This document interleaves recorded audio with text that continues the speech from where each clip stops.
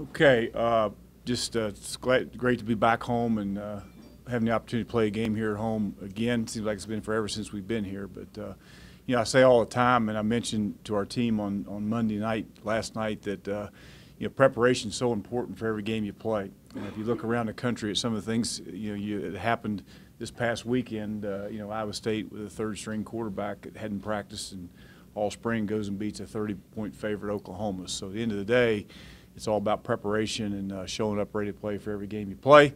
If you do that, you have a chance. If you don't, you have no chance. So our guys need to understand that. And uh, you know, we're getting ready, of course, to play an Old Dominion team that won 10 games a year ago. They got a lot of players back, so they got good players, and and they think they lead. I know they lead the league in, in quarterback sacks, and that uh, and may lead the country. They got like 19 or something crazy like that. So got some athletic guys on front defensively, and they got a lot of players back on offense. That entire offensive line is just about back intact. So uh, it'll be a challenge for us, and our guys have to have a great week of practice to get ready for them. Uh, our captains, um, Malik Gant, a guy that's playing really well on defense, will be our defensive captain, a young sophomore that's playing well for us.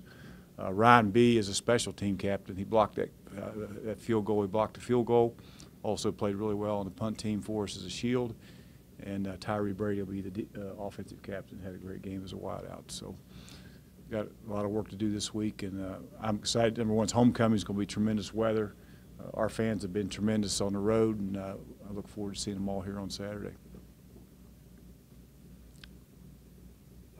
After looking at the tape, you get 400 total yards and really kind of dominated that game. Mm -hmm. Make you feel a little bit better, even though you only scored 14 points, that you, you moved the ball at will yeah, I think the important thing is you try to go out there and be the best team you can possibly be, and uh, you know there's no doubt that you know I felt like we moved. You know I didn't feel like I had. You know I walked out of there and not didn't feel like we had 400 total yards total. You know, to be honest with you, but we just didn't finish them. You guys got to finish some things. Got to finish some drives, and you know and uh, and you know uh, we scored one. I think we scored. We were on the score zone really twice, but we scored the one time there, and we're leading the conference in, in, in score zone, red zone offense. But we just got to do a better job of finishing drives. Thought we moved the ball at times had a couple penalties there that had the one turnover we got to eliminate. But uh, you know, we just got to continue to take what the defense gives us. I think we're playing tremendous defense, and uh, you know, anytime you get in a situation where you're playing the kind of defense that we're playing, just take care of the football. You know, when you get in the red zone, score zone, score points, I think you'll like the results, and that's what we got to continue to work to do. Their defense. What what is it that they're doing that makes them able to get to the quarterback with such ease this year? Well, they got, they got really good players. I mean, and I'm not, I'm not, it's not coach speak up here. If you turn the film on and watch him, uh, I think he's number seven. Is it, he's, I think these guys all played against us a year ago. I think they're getting a couple other guys back for our game. Uh, two DNs are supposedly back, and and uh, Lawry supposedly I guess practicing this week. So I'm sure we'll get their best shot with those other players coming back. But they're just very athletic. You know, they can they can they uh, do a tremendous job of uh, technique-wise as far as rushing the passer goes. And uh, like I said, they've had a lot of success you know, getting the quarterback because they played some, you know, they played Virginia Tech, they played North Carolina, you know, they played some good teams. It'll be interesting to see how your offensive line up. Yeah, I mean, it will. I'm, I'm proud of the way those guys have played. You know, Tariq Adams plays played extremely well for a young freshman. You know, you watch him; he's really come a long ways. And of course, Mollette, and uh, you know, and then of course uh, Almer and you know, I, I, I, talk about those three freshmen. I fail to mention the job that Levi Brown's doing at center. You know, with those young kids, there's a reason those young kids are playing well. And Levi is an all-conference player, I think, in there at center for us. And of course, Dowry and Devers have some experience in there. They're helping those young guys along too. So that helps. But those young, those three young guys continue to get better. And get we got Addison will be back out there today, which will help.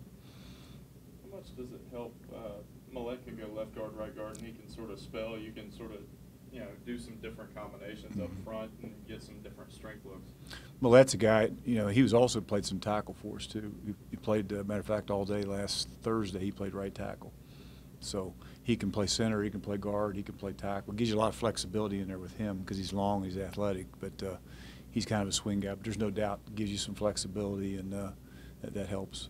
The mental side of the game and his his demeanor sort of remind you of Jasperse in a way he's about two inches taller than Jasperse, but uh, yeah, he's he's he's, some, he's and he's a lot. Don't tell Jasper. He's a lot better athlete than Jasperse, but uh, don't tell Jasperse on the sidelines. I'd say, I'd say the same thing in front of him here, but uh, he's got a long ways to go. To you know, Jasperse was just such a tremendous leader, such a tremendous player, tough guy that will go down as one of the best uh, centers to ever play here. And I think he still has a record for what the most number of snaps an offensive lineman's ever taken here or something. So to put him in the Jasperse category as a freshman, I'm not sure we're quite ready to do that yet, but he's got the potential to do that.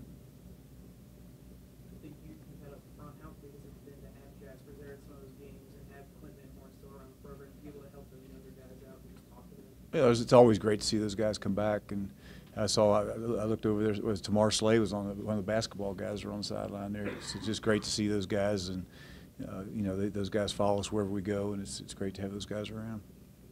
The way the league has started, it's kind of crazy. How important is it to hold serve at home? Obviously. Yeah, I think it's, it's, I mentioned, I've always said, uh, Keith, anytime you're in, the- in the league play, every game's a championship game, and, you know, you look around, I don't think there's, uh, you know, there's not, just about every team in our league has a loss. I don't think, F- I know uh, UTSA got beat by Southern Miss the other day, and, and I think FAU may not have a loss in the league, I don't think, but, uh, I think everybody else has a loss in this league, so it's just so critical that every game you play, like I say, you got to treat it like a championship game and go find a way to win it because that's that's you know it's kind of when it all shakes out, uh, you know you got to find a way to win those conference games to get where you want to go.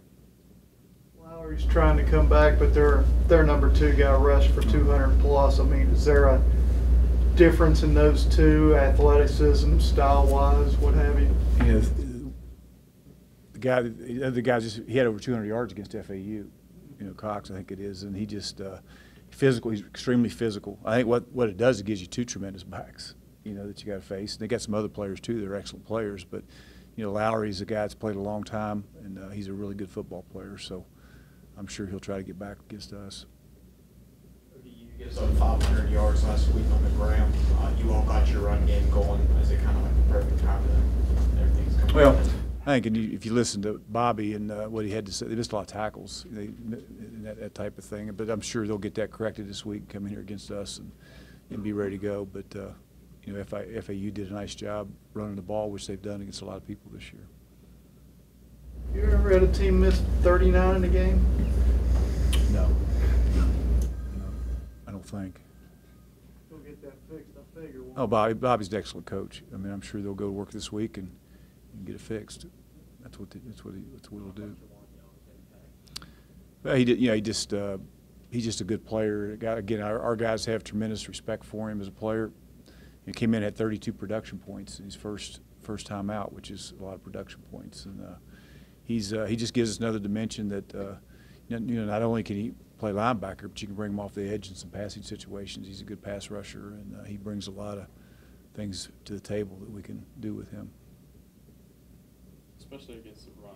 His his mobility and and size combination. How much better does that make your all's run defense going into a game like ODU where you know they're bringing it? Yeah, well, that you know, ODU, ODU's quarterback is extremely athletic, just like the kid we played. Uh, you know, we, we were the one thing we went into that Charlotte game. We felt like we had to stop. We couldn't let the quarterback beat us with his feet. He had four yards rushing against us Saturday. So, and Jawan had something. You know, Jawan was able to run him down. You know, Jawan's 250 pounds, but our linebackers can run, and he was able to run him down on the perimeter, which was critical. And that'll be critical this week too with this guy because at times Virginia Tech couldn't tackle him. I mean, he's a young player that it's very athletic that, that can run very similar to what we faced uh, last week at Charlotte. So, you know, anytime you can get athletic guys in there that can run, and not only Jawan, but you know Frankie and all those guys have the ability to run at linebacker, which is important.